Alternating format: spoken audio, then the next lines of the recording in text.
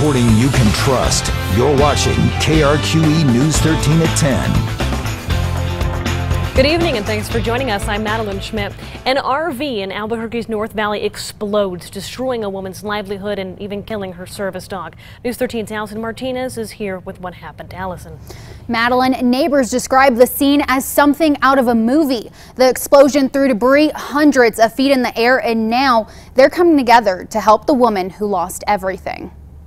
I wouldn't get. Get away, Marie! Get away from there, man. There's still another tank! It was an intense turn of events Friday afternoon in the North Valley at Balloon View RV Park. Just a big old kaboom, and everyone's trailers shook. It just rocked this whole entire neighborhood. I mean, it was unbelievable.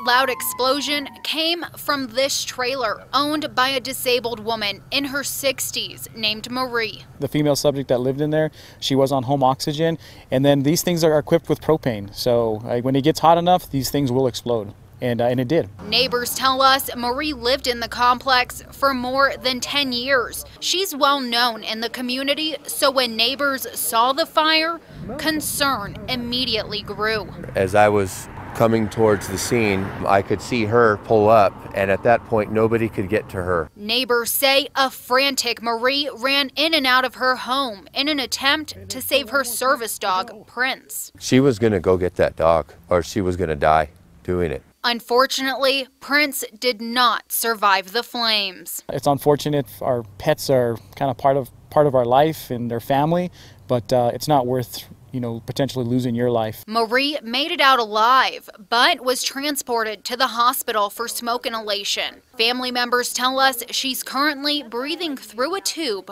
but is expected to make a full recovery. And when she finally leaves the hospital, she won't have a home to return to, but community members will be there to support her, raising money online to help. I think that she, more than anybody, deserves to be heard. I mean, she didn't deserve for that to happen.